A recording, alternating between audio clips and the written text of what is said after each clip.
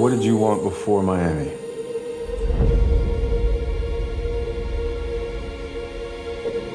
I just wanted to escape my life. I need you. Do you like bartending? It's not really what I do. What is it that you really do? But then you came along and gave me this unexpected, magical moment that made me remember who I really was.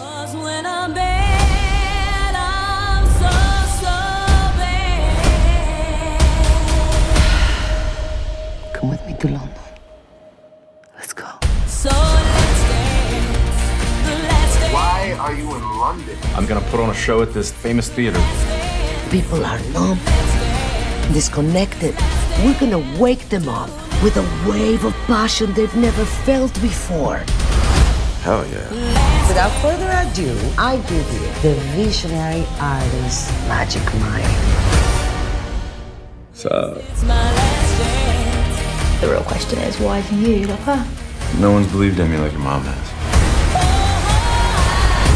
So what's this show about? It's the same old will she marry for love or money? So what does she pick? Love or money?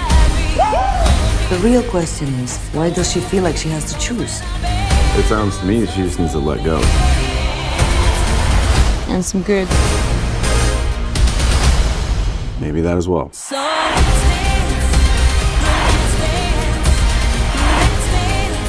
You're not shutting me down, not this time. You're so good at this. I'm not gonna just let us give up on it. I want every woman that walks into this theater to feel that a woman can have whatever she wants whenever she wants.